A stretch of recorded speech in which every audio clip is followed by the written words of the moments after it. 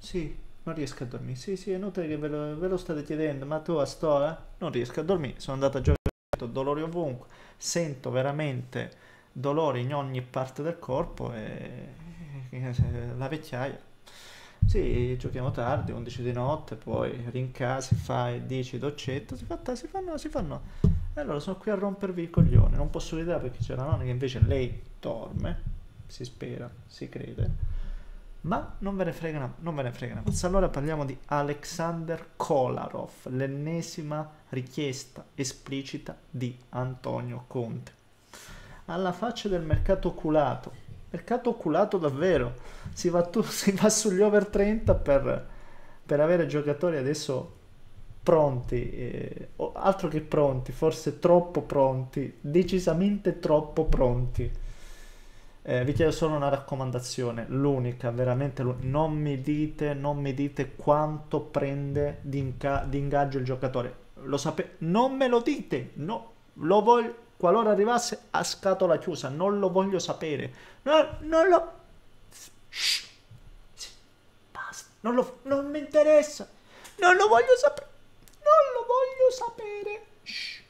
Teniamolo, teniamolo nascosto, per favore, in qualche... nascondiamo.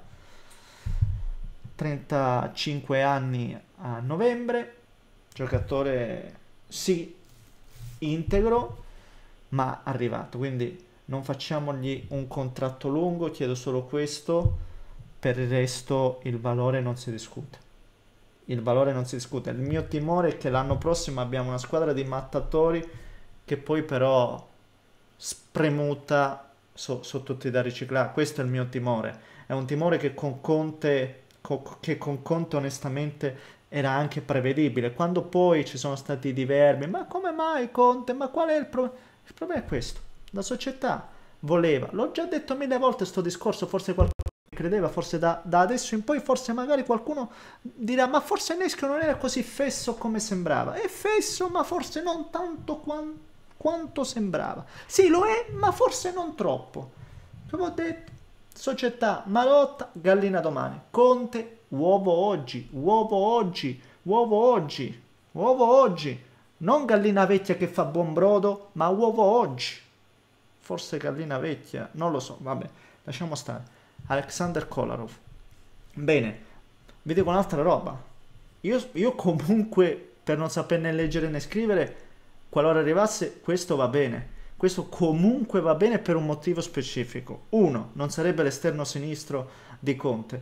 Non, è, non viene all'Inter per fare l'esterno sinistro, secondo mio, se, secondo mio, secondo me, vi do qualche dettaglio tattico, voglio fare fa il capello della situazione. Questo viene a fare il difensore, il, uno dei tre di dietro a sinistra. Eh, sappiamo che Conte imposta soprattutto con i centrali, lo sappiamo, eh, chi ha visto le partite lo sa, per cui questo va a prendere il ruolo di, di Bastoni, primo di sinistra. Bastone non so a questo punto verrà spostato a destra, visto che credo che Conte ci, ci tenga tantissimo a, ad Alessandruccio. Questo viene a fare Kolarov. Ovviamente giocherà anche esterno, per carità, ma non può sostenere, non può sostenere certi ritmi, almeno credo.